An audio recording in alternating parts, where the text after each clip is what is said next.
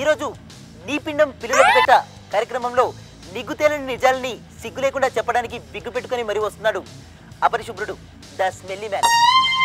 నేరస్తుల జాడ్ని కుక్కలు వాసన చూసి ఎలా పసిగడతాయో వీడి జాడ్ని వీడి బాసన తట్టుకోలేక ఎవరైనా పసిగడతారు. ఎందుకంటే వేలాడే వెంట్రుకలు ఉతకని బట్టలు పాచిపట్టిన పళ్ళు స్నానం చేయని ఒళ్ళు ఇవే ఇతని ఆనవాళ్ళు. ప్రేమించిన అమ్మాయి మోసం చేసిందని ఇలా తిక్కపట్టిన తిమింగలంలా ప్రవర్తిస్తున్నాడు. స్త్రీ జాతి పైన కనిపించని కసిని పెంచుకున్నాడు. వింటుంటేనే వికారంగా ఉంది కదూ? చెప్తుంటే విచిత్రంగా కూడా ఉంటుంది. ఎవరైనా తప్పు చేసిన వాళ్ళు కనిపిస్తే చీపురు పుల్లలతో కంట్లో గుచ్చడం పొడిచిన చోటే సూదులతో పొడవడం తను వేసుకున్న సాక్షిని వాసన చూపించడం సూదిగా ఉండే ఐస్ దిమ్మల్ని కనిపించని చోట కసక్కని దింపేయడం నేరస్తులకు ఇతను విధించే శిక్షలు. అసలు అతను ఎందుకు అలా మారాడు? అతని లక్ష్యం ఏంటి అసలు ఎందుకు అలా ప్రవర్తిస్తున్నాడు?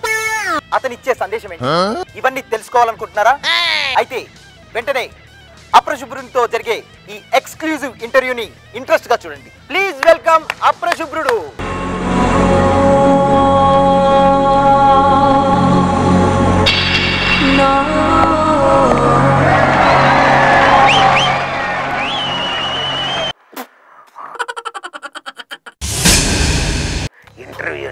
లోపలంతా చీకటిగా ఉందేంట్రా కొంప తీసి చీకట్లో పెట్టి కుమ్మేస్తారేంటి ముందు ముఖానికి అడ్డంగా ఉన్న వెంట్రుకలు అడ్డం తీయండి.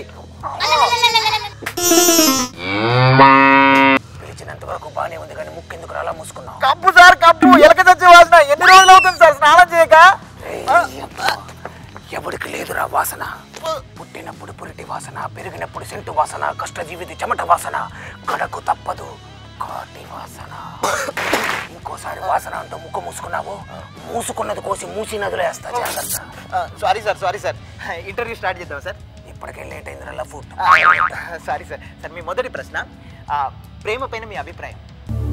ప్రాయంలో వచ్చే ప్రాణాంతక వ్యాధి. Okay sir. మరి పెళ్ళి చూపులు అంటే? ట్రైల్ రూమ్లోకి వెళ్ళి బట్టలు సైజ్ చూసుకొని రావటం. ఎంగేజ్మెంట్ అంటే? ఎంజాయ్మెంట్కి ఎక్స్పైరీ డేట్ ఫిక్స్ చేసుకోవటం. మరి పెళ్ళంటే? ఆగిపోయిన సినిమాకి హండ్రెడ్ డేస్ ఫంక్షన్ చేయటం లాంటిదిరా. చివరిగా సార్ ఒక చిలిపి ప్రశ్న. అయ్యో సిగ్గవుతుంది. పడింది సార్లు తర్వాత. అదే సార్ శోభనం అంటే? శోభనం పులి నోట్లో తల దూర్చడం అంటే మీకు ప్రేమ పెళ్ళి ఇలాంటి వాటిపైన సరైన ఒపీనియన్ లేదనమాట ఇది నా ఒపీనియన్ కాదురా. ఆ. పెళ్ళైన సగటు మగవాడి ఆత్మఘోష. Sir sir sir sir. బేసిక్గా ఆడవాళ్ళు మగవాళ్ళ చేతుల్లో మోసపోయారంటారు కదా. మీరేంటి ఇలా అంటున్నారు? లేదు అది అబద్ధం. పర్సంటేజ్లో తేడా ఉండొచ్చేమో కానీ ప్రాబ్లమ్స్ మాత్రం ఇద్దరికి ఊరుకోండి సార్. మగవాళ్ళకి ప్రాబ్లమ్స్ ఏంటి? చెప్తాను వినరా. ఆ, చెప్పండి. ఆడవాళ్ళకి అన్యాయం జరిగితే అభయ నిర్భయ లాంటి చట్టాలు ఉన్నాయి. అదే అన్యాయం మగవాడికి జరిగితే ఈ దౌర్భాగ్యులకి ఏ చట్టం ఉంది? చెప్పండి సార్.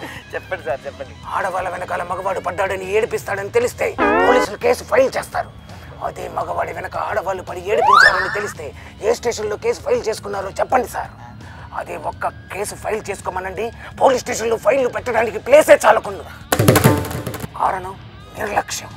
నిర్లక్ష్యం సార్. ఆడవాళ్ళ వెంటపడి ఏడిపిస్తే దాన్ని ఈవ్ టీచింగ్ అన్నారు. అదే మగవాళ్ళ వెంటపడి ఆడవాళ్ళు ఏడిపిస్తే దాన్ని ఆడమ్ టీచింగ్ అని ఎందుకు అన్నారు అనేది ఏంటి? బొక్క అని నిర్లక్ష్యం. అర్థం చేసుకోండి సార్. అంతేకాదు ఆడవాళ్ళకి అన్యాయం జరిగితే కాపాడటానికి మహిళా సంఘాలు ఉన్నాయి అదే మగవాడికి అన్యాయం జరిగితే కాపాడటానికి ఎన్ని పురుష సంఘాలు ఉన్నాయి ఉండవు కారణం నిర్లక్ష్యం. ఒకరికి పరీక్షల్లో కూడా చివరికి వచ్చే రిజల్ట్స్లో దరిద్రం నిర్లక్ష్యం రెండు కవల పిల్లల్లో మాకే దాపరించాయి మగవాళ్ళకి ముప్పై ఐదు పర్సెంట్ ఆడవాళ్ళకి ముప్పై మూడు పర్సెంట్. అంటే మనది ముప్పై ఐదు వాళ్ళది ముప్పై మూడు. రెండు పర్సెంట్ మనమే ఎక్కువ అనమాట మనదే అప్పర్ హ్యాండ్ మెడతంత మెదడేసుకొని మీడియాలోకి ఎట్లా వచ్చారో మెంటల్. కాస్త వాడు. ముప్పై ఐదు పర్సెంట్ అంటే పరీక్షల్లో మనకు వచ్చే మార్కులు ముప్పై మూడు పర్సెంట్ అంటే ఉద్యోగాల్లో వాళ్ళకున్న రిజర్వేషన్లు. ప్రేమ పేరుతో ఊడిగా మనం చేస్తుంటే ఉద్యోగాలు వాళ్ళు చేస్తున్నారు. మనం నెల తప్పిస్తుంటే ఆరు నెలల మెటర్నిటీ లీవ్ వాళ్ళు తీసుకుంటున్నారు. అంతేకాదురా నీకు చిన్న లాజిక్ చెప్తాను నేను ఉమెన్లో మెన్ ఉంది. షీలో హీ ఉంది. కానీ హీలో షీ లేదు. మెన్లో ఉమెన్ లేదు. అంటే ప్రతి మగవాడి బతుకు ఆడదాని వెనకాలే చివరి వరకు అని చెప్పే లాజిక్ దీంట్లో ఉందిరా. కారణం నిర్లక్ష్యం నిర్లక్ష్యం నిర్లక్ష్యం. అంటే ప్రతి దాంట్లో తప్పు ఆడవాళ్ళదే అంటారా? నేను అలా అనలేదురా. సమభాగం కావాలన్నప్పుడు సమన్యాయం కూడా జరగాలిగా. అంటే మగవాళ్ళకి సమన్వయం జరగట్లేదా? ఎక్కడ జరుగుతుందా ఎక్కడ జరుగుతుందా పొంగు జరుగుతుంది? ఎక్కడ జరుగుతుందా గొంతు పోయేలా చెప్తుంది ఎనవే? ఇప్పుడు చెప్తాను వినరా. ఆడవాళ్ళని మగవాళ్ళు కొట్టగానే వెళ్ళి గృహహింస కేసులు పెడుతున్నారు. అదే మగవాళ్ళని ఆడవాళ్ళు కుక్కని కొట్టినట్లు కొడుతుంటే ఏ కేసు ఉందిరా? అవును సార్ మీరు చెప్తుంటే నాతోనే గుర్తొస్తుంది రోజు మా ఆవిడ రాత్రి